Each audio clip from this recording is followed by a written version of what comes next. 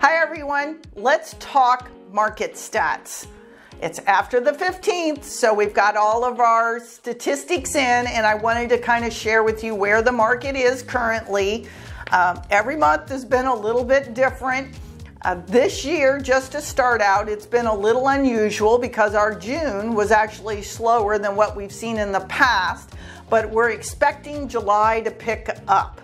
So, um, what I've learned in the last couple of years is that I don't know anything anymore that has been historic in the past because the historical part kind of went out the door and we're living in the moment.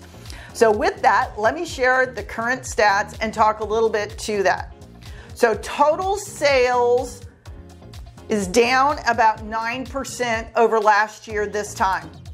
The average sales price is still no change, and that's 395,524. Pricing is still holding pretty steady. Um, the median price has gone down a little, and that's by 6%. That's 329.50. But again, I am not seeing massive drops in prices at all. I am seeing some slight negotiation, and again, in some areas of town, there are multiple offers still happening. We're just not seeing that 10 to 15 offers. So it is very specific to areas of town on some of the statistics that I provide you. That's why it's so important to have a professional review this with you on what's going on in your zip code and in your neighborhood. Um, close to original list price. Now, what does original list price mean? That means the price you started out on the market at before you drop the price. And that's at 95%. Once you get to the right price, I will tell you it's less than 3%.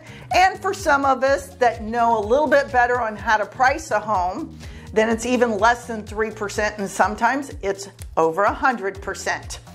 Uh, days on market, still hanging around 64, 65 days. Uh, that's not very long on market, but it is a vast difference from last year. Uh, but that's still selling pretty quickly, and we are still in a seller's market.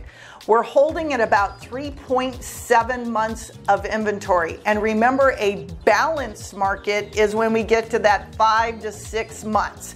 So we're edging a little closer to that, but we haven't hit that number anywhere close yet. And I am seeing that three to three and a half kind of volley back and forth, and we're up to about 3.7 right now.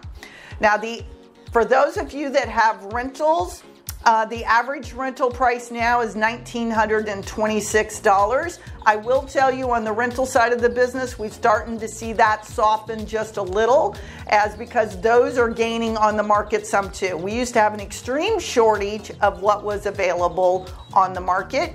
And now we're seeing uh, homes sitting longer on the rental market as well. Uh, still in short supply, just taking longer to get them leased out. Uh, new listings are down 14%, which means that's why we still have a shortage of homes. Um, active listings is up and pending listings is down. Again, the last 30 days it seemed that it slowed down just a little bit. Uh, we're looking at the market makeup. Under 200,000 is 9% of our market. That means we are not affordable anymore under 500, uh, or excuse me, between uh, 200 to 499, we're at 71% of the market, which is a large share of what San Antonio is. And when we're over 500,000, this is where the biggest gains we've seen in the last few years. We're talking about 20% of the market. Now, we used to think over 500 was luxury. That's really starting at about 750, 800 nowadays. Um, so that's some basic statistics about where the market is at the moment. Uh, just wanted to let you know that price per square foot uh, is at 183. That is a 4% decrease from this time last year. Again, not a huge decrease at all. Um, so I think that's really important to note.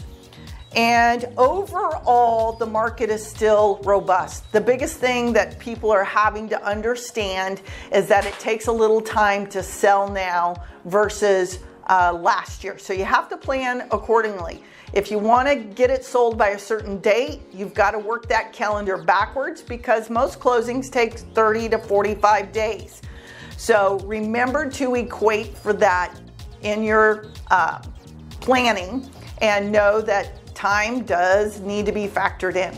I'm Missy Stagers, broker owner of M. Stagers Realty Partners and team leader of the Missy Stagers team, bringing you the market update for July. Thanks for joining me.